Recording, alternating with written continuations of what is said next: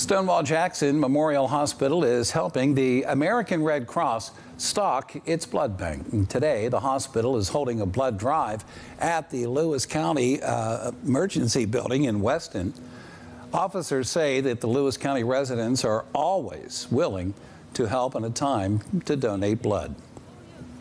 We're fortunate here because it seems like we have a really good stable of people that are willing to come uh, every couple months and give blood, and we, we can call on them, and they're they're really good about this. The blood drive runs until 6 p.m. The next blood drive will be held May 30th, the same location.